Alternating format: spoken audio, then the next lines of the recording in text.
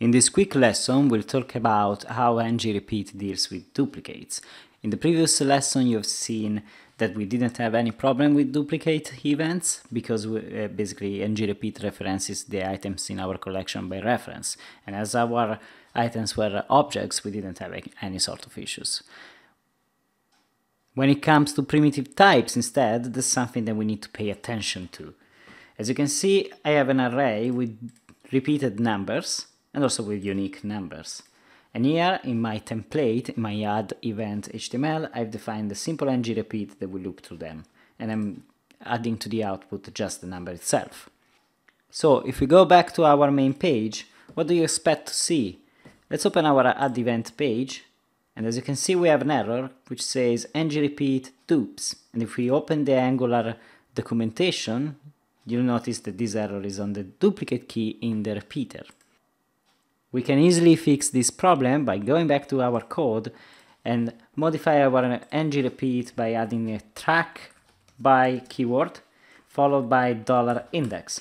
In this way, basically the, the elements will be uh, displayed on our screen and they will be accessed by their position inside the array. So let's save it and let's see what happens. Back to our event, refresh the page and as you can see all of our elements have been displayed. Just keep in mind that whatever you put in your ng repeat, your track by expression must be the last thing. And uh, track by has another powerful capability, which is to increase the performance in your ng repeat. What you don't know yet is that if your collection changes, so say that you store your data in a database and instead of having hard-coded data, you have, for example, a list of events, and that list of events can change, well, you can define how your collection should be tracked by. Uh, automatically, AngularJS generates a unique ID for each one of your elements, but every time your collection changes, the whole document object model will be destroyed and recreated, and you don't want to, to get unwanted behaviors. So let's maybe define a quick uh, array of events are coded as well, but we can do something like this. These events, again, will be empty.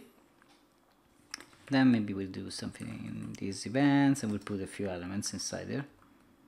One and two.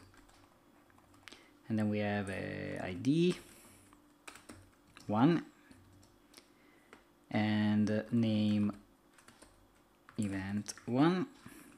Maybe let's put it between double quotes. Same thing here it will be id id 2 and name guess what? Even 2 so this is my array. And I want I can also get rid of this. I can initialize it with those two events.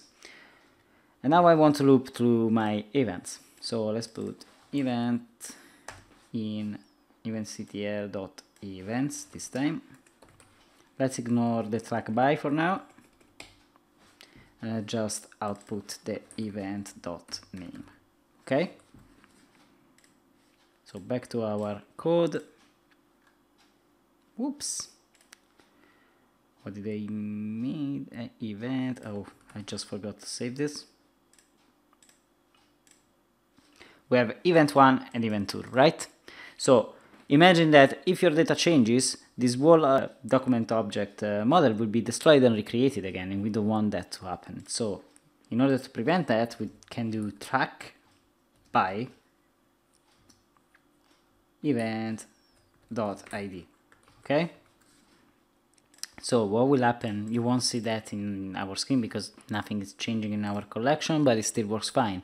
But what will happen is that whenever any element gets updated, Angular will know that the identifier, the unique ID for that specific item is the event ID. So if that number doesn't change, as long as it's the same, Angular will reuse the same document object model to uh, render your data. So it's a very good thing. Imagine to have a list with a thousand uh, elements. Angular will not destroy all of them and recreate an element that maybe has just been updated uh, or maybe still the same and it's just been recreated. So keep that in mind and let me know if you need additional information about that. Uh, maybe this can be a good subject for a bonus lesson in the future.